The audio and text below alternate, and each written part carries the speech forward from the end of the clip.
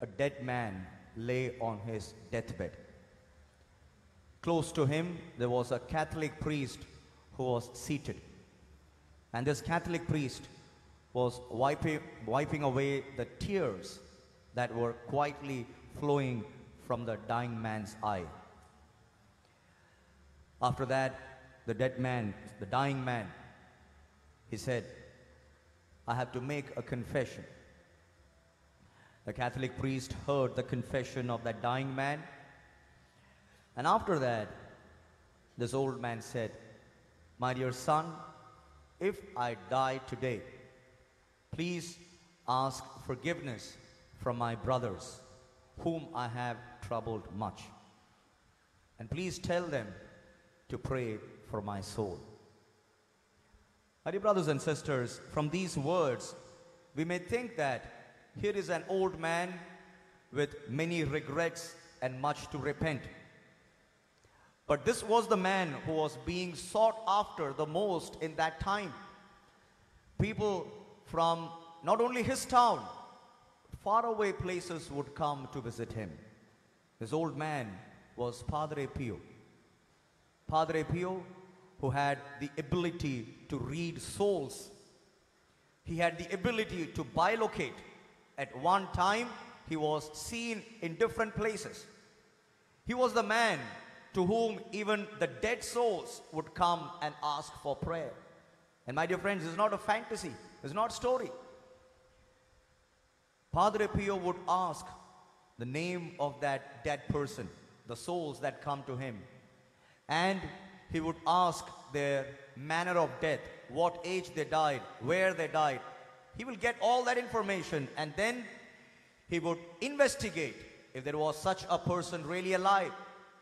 And how did he or she die? Only when the information and the fact match, he starts praying for them. And after praying for a while, the soul would come and give thanks to Padre Pio and would go away. This man slept only for two hours, and the rest of the time he would spend in prayer. My dear friends, uh, people from far and wide would come because there are explicit signs manifested in this man. He's a man who had stigmata. For 50 years, he carried the wounds of Jesus Christ, the five wounds. Even the doctors are not able to find out the mystery of these wounds. This man, my dear friends, uh, whom people sought after, people thought living saint, because miraculous cures happening. You just have to go and visit this man, and the, the devil leaves. People with so many sicknesses getting instantaneous cure. People thought that he's a living saint. And this man on the deathbed is saying, Please ask forgiveness from my brothers whom I have troubled, and let them pray for my soul. My dear brothers and sisters, there is a tendency today when our beloved dies, when our father, mother dies, or when our brother, sister die, when someone close to our heart, when they die at their funeral, we prepare a sermon and we give a sermon saying that this person has gone straight to heaven. We immediately canonize our beloved. But if only we think and read and meditate upon the lives of saints, we understand something. It's good and right to hope for heaven. But what we should not forget in the light of what Padre Pio says is this death is not always a free pass to heaven. Death is not always a free pass to heaven. So let's not think that immediately we die, we go to heaven because Jesus died and he has got victory over death and therefore all of us will go automatically to heaven. That's not what Jesus has taught. Jesus has not said that all of us will go to heaven. If that was the case, then there was no meaning of hell. And Jesus himself often emphasizes about the existence of hell. People are going to hell. That's what Jesus is saying. When we read the Gospel of St. Luke, chapter 16, the parable of the rich man and Lazarus, Jesus said both of them died because this is the reality. You and I, we all will die. And after that, there are only two options either heaven or hell. If all were bound to heaven, then Jesus should not have talked to us about hell. Jesus says the rich man is going to hell and he's being tormented there. He's tormented there. He's in tears, gnashing his teeth and crying out to Abraham. Abraham says, Nothing can be done. Nothing can be done. He's pleading, Please send Lazarus to my relatives, to my family members, so that at least they don't come to this persecuting place. And Abraham says, There is Moses for them, there is prophets for them. If they are not listening to them, then even a man who comes up after life, they are not going to listen to him. So, my dear friends, hell is a reality. Death is a reality. And let's not think that with everyone's death, we all are going to heaven. We all are going to heaven. That's not a necessity. The scripture says only those who die in the Lord, they will go to heaven. Hallelujah. Hallelujah. Shall we all lift up our hands and praise God? Hallelujah. Hallelujah. Hallelujah. So, my dear brothers and sisters, when we read and reflect the life of Padre Pio or any saints for that matter, one thing that we can understand is this it's not easy to go to heaven.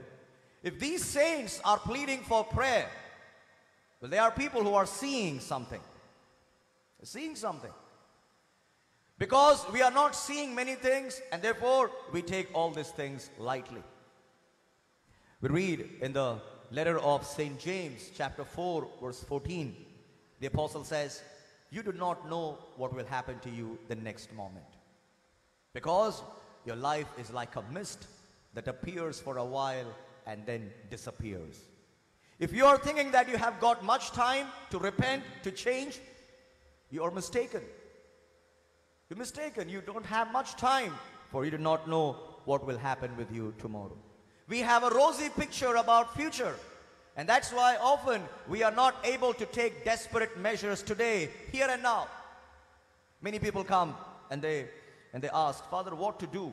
We have the desire to forsake our sinful things. But the attraction to these sinful things are so powerful. We often go and fall into that sin again. We want to get rid of alcohol. We want to abandon smoking or drugs or pornography or fornication, adultery or whatever those things, gossiping. We want to for, we want to forsake it, but we are not able to. We experience that pull which is so powerful. My dear brothers and sisters, if you're experiencing the pull of sin, one of the reasons is this we have not taken seriously about this reality called death. This month, Catholic Church is giving us food for thought. Today, November 2, we're praying for the departed soul. Let that not end here. The whole month, the church is asking us to reflect about the reality of death. The more we are living with this thought of death, the more better for us. It will be easier for us to forsake our sins or to abandon our wickedness. There is this woman about whom I read some time back. Her name was Margaret. Margaret was actually a food taster for Adolf Hitler. From 1943 to the end of World War II, she was the food taster of Adolf Hitler. And what was her duty? Her duty was to taste the food before it was served to Hitler. So she gave an interview in which she said, Every time when the Nazi soldiers would bring the food and serve before her, it was always the most delicious food. The finest quality of food, because that food was going to be served to Hitler. So always, there are different varieties of food, lavish, lavishly spread on the table. But she, together with a dozen of women, they say, when we come to the table, we were terrified. That delicious food was not able to attract us because they know that if they are being brought there, if they are forced to eat this food, it is only to test whether there is poison. There was danger for Hitler. From different quarters, there were dangers. And so this is what he came up with. The plan was to give the food to someone else and to taste. If there's nothing wrong with them, then only he eats. So these women knew that this food might be poisoned. This food might be poisoned. And therefore, what she says, every time we were brought to that table, we would hug, we would embrace, and we would cry. Would cry, asking that same question Will we be alive tomorrow? The thought of death, my dear friends, took away all the allurement from their hearts. She said, when they ate food, the delicious food, they never enjoyed it. They never enjoyed. Because the thought of death was constantly there in their mind. If today, my dear friends, we are enjoying the sinful things, if today we are experiencing the pull of temptation, one of the reasons is this we have not thought seriously about death. We think that after death, somehow the Lord will take us all to heaven. If only we realize what is going to happen after death, then automatically the pull of the sinful things will lose its hold upon us. Hallelujah. Hallelujah. Shall we all lift up our hands and praise God? Hallelujah. Louder. Hallelujah. Hallelujah. We read what happened in the book of Genesis. God told Adam and Eve, You can eat the fruit of any tree in the Garden of Eden, but just one tree. You should not eat. And then what happens? Eve was going around, and finally she came before that tree. The Word of God says, The fruit of this tree seemed so good. The fruit of this tree was really attractive. The Bible is teaching us sin is always attractive. It always seems good. It always seems profitable. Sin does not come in an ugly way. The Word of God says Eve saw the fruit and it was so beautiful. It was very attractive. And what happened? Satan comes and Satan asks her, Did God tell you if you eat the fruit of this tree you will die? She said, Yes. Satan says, You will not die. Even if you eat the fruit of this tree, you will not die. What he was doing, my dear friends, the first thing, he's taking away the thought of death from their hearts. When the thought of death disappeared, she went and grabbed that fruit. She ate. She gave the fruit to Adam as well. My dear brothers and sisters, this is the tactic of the devil. The devil knows if he is able to convince people that they have got much time, then they will continue to go on their sinful ways. And at the end, they will all land up in hell.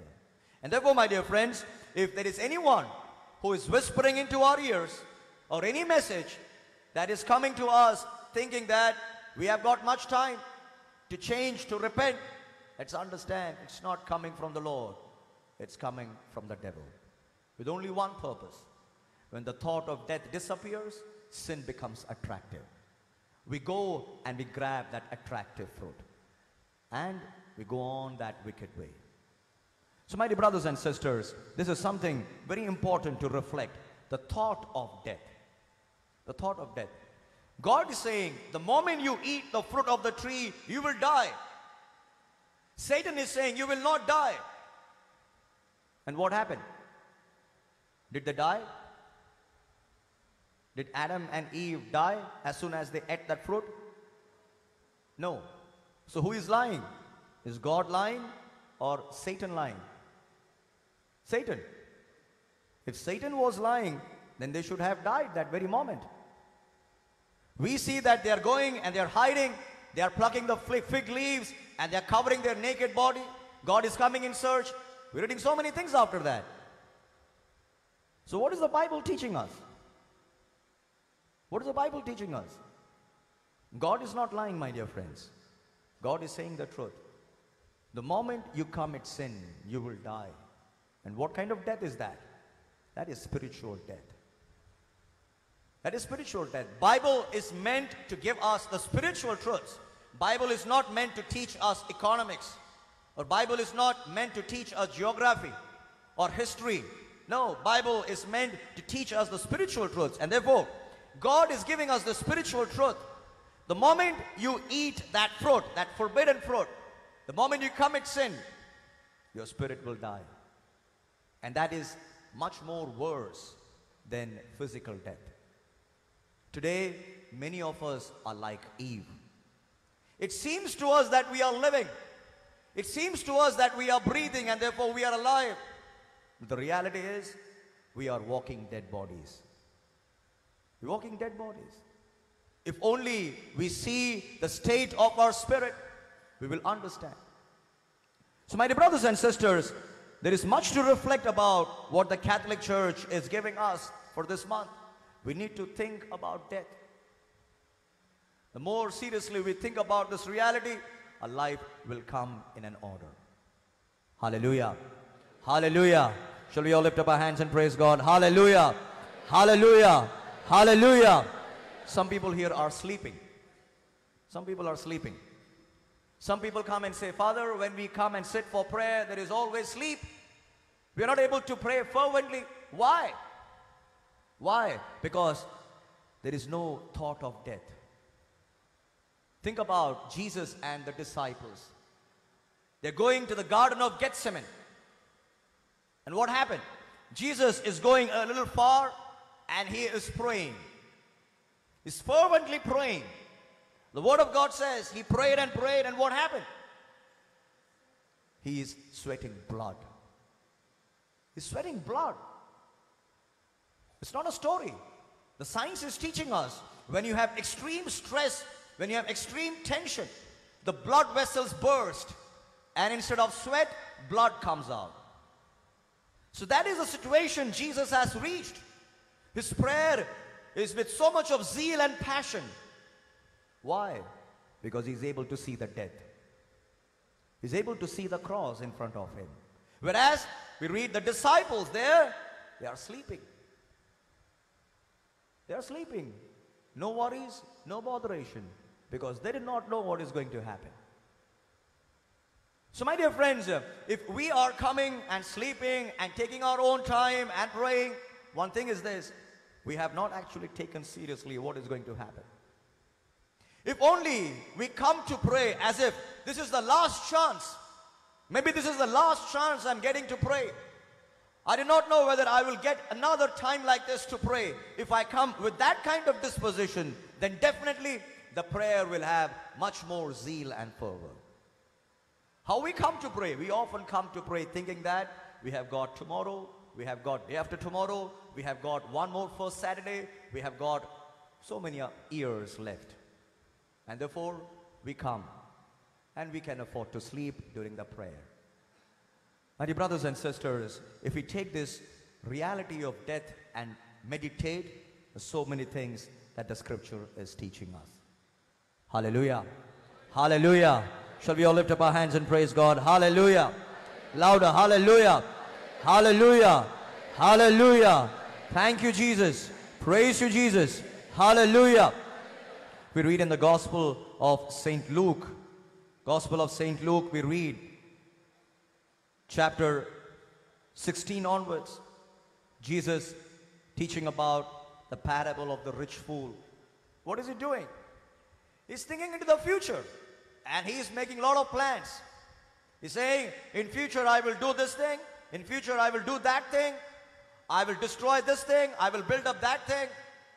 And Jesus said, very carefully, please be attentive to this, what, how Jesus addressed. You fool, this night your life will be demanded of you. This night, your life will be demanded. Then what will happen to your plans?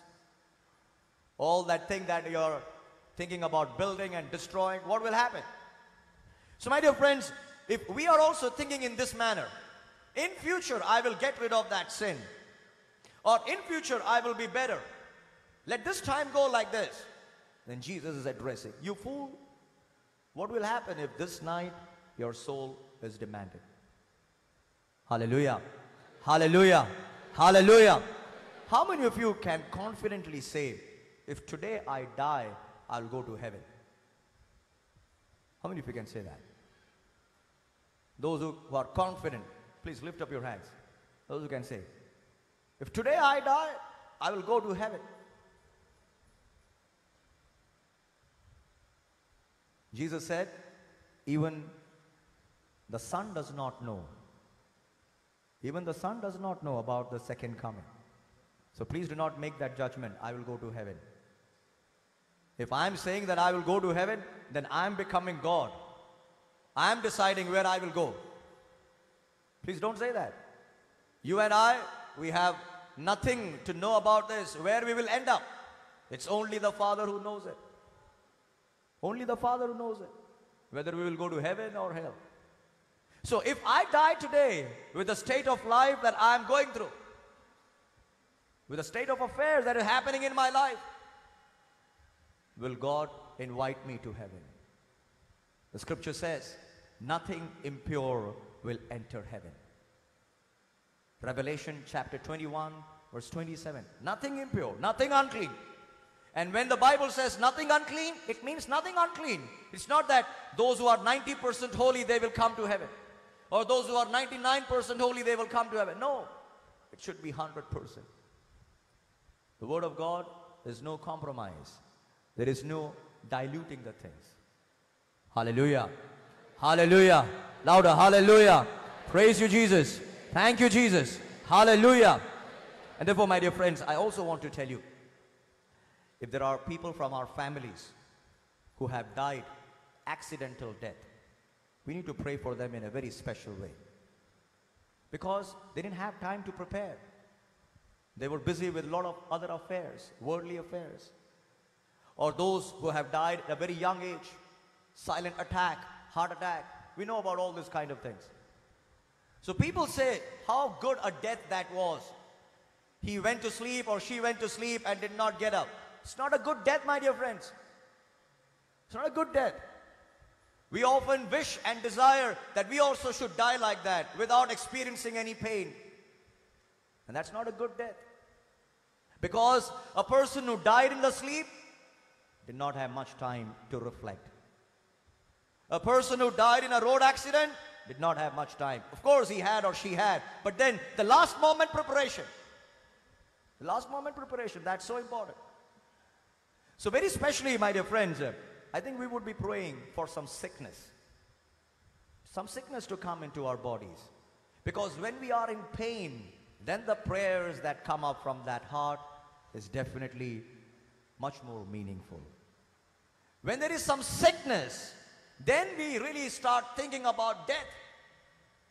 When we are having cancer, then we start reflecting about death. And I would say that would be a good death because the person is getting much more time to make that immediate preparation. Hallelujah. Hallelujah. Louder. Hallelujah. Praise you, Jesus. Thank you, Jesus. Hallelujah. The person can think about it and go receive the sacrament of confession, which the people who died in a sleep or the people who died in a road accident or such sudden death, they don't have that occasion to go for confession and to receive that sacrament.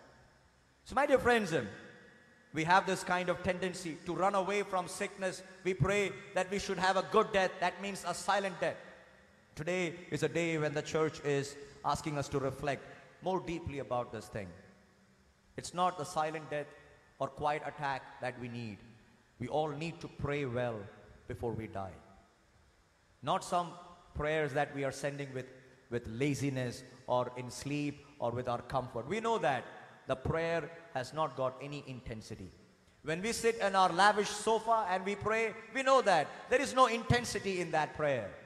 But a one who is experiencing the sickness, the pain, that prayer is really intense.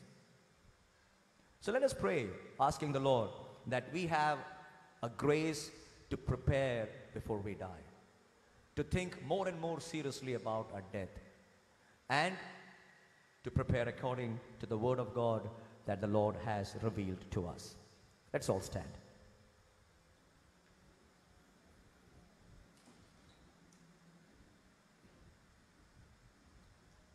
Let us close our eyes and join our hands.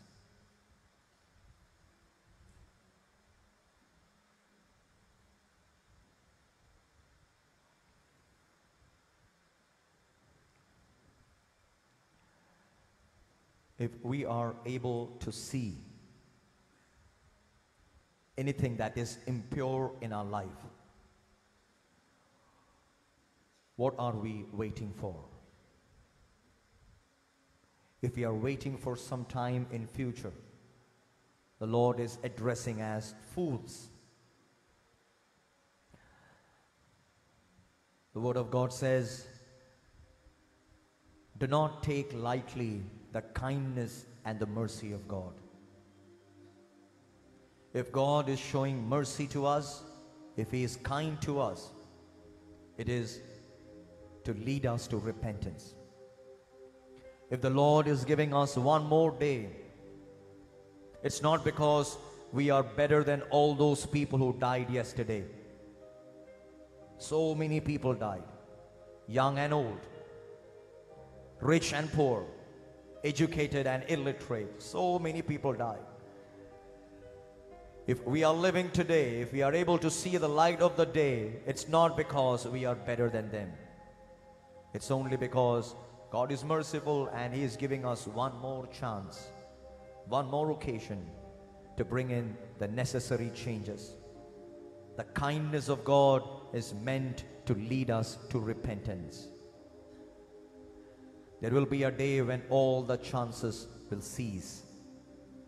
A day when all the opportunities will end. And after that, to cry and to weep will be of no avail. The rich man is weeping, shedding tears, but all that prayer is meaningless. All the time that we have God is now. Now and at the hour of death. Maybe this could be the last day. This could be the last week, the last month, the last year of my life. We never know. Let us ask the Lord to instill in us this thought so that there comes an order in our life so that we be able to prepare much better to receive the reward. Once again, let us pray for all the departed souls, very especially those who met with an accident, a sudden death, a silent attack, those who died in a young age, those who do not have an opportunity to receive the sacrament of confession, to prepare before they embrace death. Let's ask our Lord to have mercy upon all those souls. We do not know where they are. Let us pray for them and let us pray for ourselves. If Padre Pio, a great saint, if he is desperately crying out for prayers, how much more you and I, we all need prayers for our soul. Let us offer all these prayers unto this Eucharistic table. And together with bread and wine, let us offer ourselves to Jesus. Let us pray. Lord, accept our humble offering, accept our prayers. Lord, help us to pray more intensely, not praying and sleeping. Lord, give us that zeal and fervor so that we pray as if this is the last day. Lord, help us so that we can live as if this is the last day. We ask these graces through the intercession of Blessed Virgin Mary. Please be seated. Let us prayerfully take part in this offertory service.